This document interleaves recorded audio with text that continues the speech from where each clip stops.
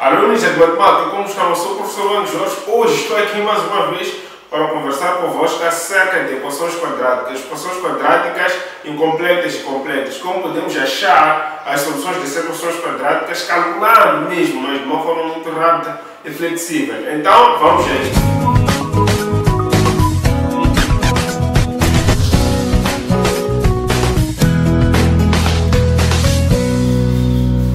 Então, ninjas, é o seguinte, é, equações quadráticas são muito simples de calcular.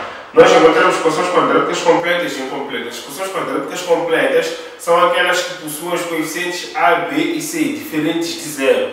As equações quadráticas incompletas podem não ter o valor de B ou o valor de C, mas o valor de A deve sempre estar presente na equação quadrática, porque a partir do momento que o valor de A é igual a zero, desaparece o x ao quadrado. Quando desaparece aquele x ao quadrado, a equação já não é quadrática, porque perdeu o monômio de grau 2. O monômio de grau 2 é o que torna a equação de segundo grau, ou seja, a equação quadrática. Então, os valores B e C podem ser iguais a zero, mas o valor de A nunca deve ser igual a zero, senão vai desaparecer o x ao quadrado e a equação deixa de ser quadrática. Por isso, isso é muito importante também quando nos perguntam determine k do modo que a equação seja linear. Então, provavelmente terá no coeficiente de A um k menos 2, alguma coisa qualquer, x ao quadrado, que devemos anular aquele do coeficiente A. Assim a equação deixa de ser quadrática porque x ao quadrado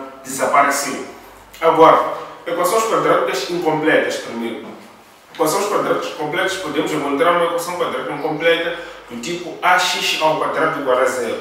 Esta equação quadrática do tipo ax ao quadrado igual a zero só tem uma única solução e esta solução é zero. Se formos isolar o x nesta equação, teremos o quê? x ao quadrado igual a zero dividido por a.